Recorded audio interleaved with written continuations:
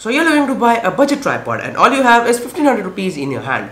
But before you go and buy that cheap 1000 or 1500 rupees tripod, take a look at this mini tripod, which not only comes at a lower price but is also sturdy and durable at the same time. Folks, welcome to the review of the PhotoPro UFO 2 mini tripod. Is this tripod better than the signature Casey Neistat tripod? Let's find it out in today's video. Hey what's up guys, Bhushan here for Boy Expert. With that being said, let's get started.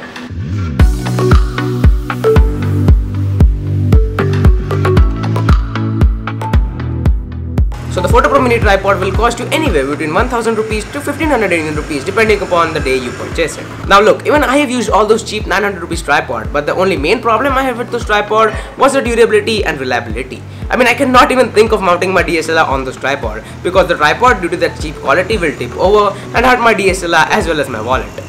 So here's when a mini tripod comes to the rescue. I also do on the Joby Gorilla Pod which by the way costed me about 3000 rupees but I can easily say that even after this hefty price tag, the Joby Gorilla Pod is not worth the price. In fact the PhotoPro UFO 2 is far better than the Joby tripod when it comes to value for money.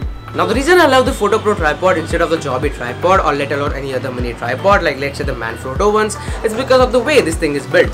As we all know that almost all the mini tripods either have a leg that is made up of flexible plastic balls or they are not flexible in the first place. Well the PhotoPro on the other hand is flexible as well as durable at the same time so you can easily mount a DSLR without tipping it over. And the reason to that is again pretty simple and that is its design. Unlike the Joby Gorilla Pod, the UFO 2 has a tube or a flexible wire if you will that passes through its leg and as there are no joints involved you can literally bend this thing in any way you want without breaking this thing into two parts and that's the biggest problem I had with the Joby Gorilla Pod. It just used to break over or it just used to break into two parts if I used to apply too much pressure while bending the Joby Gorilla Pod. But with the PhotoPro UFO 2 mini tripod, the problem is just vanished and that's really amazing for my usage.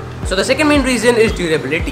Due to the single wire design, this tripod becomes really sturdy and durable when you place it on uneven surfaces. You can literally mount this thing on a pole and it won't slip over whatsoever because of the rubberized legs this thing has to enhance the grip. You can also wrap the UFO 2 around your neck and get that first person look without hurting your neck itself. And the creativity is just endless and as we all know that the sky is the limit. So be creative with this tripod and try to get some unique shots. Now of course this tripod is just great for the price but there are still some problems with this tripod as well which might be a deal breaker for you. Like first one is there is no ball head included in this tripod but yeah of course there is an articulating head included but it's not as smooth as the Joby Gorilla Pod's ball head if you're coming from that Gorilla Pod kind of vibe. As a result mounting this tripod on uneven surfaces may take more time than usual. And that wraps it up. The best buy link for this tripod is in the description down below so make sure you purchase from my link because it kinda helps my channel out. And do follow me on Instagram for more behind the scenes and stuff. But that being said, I'm our boy expert and I'm signing out.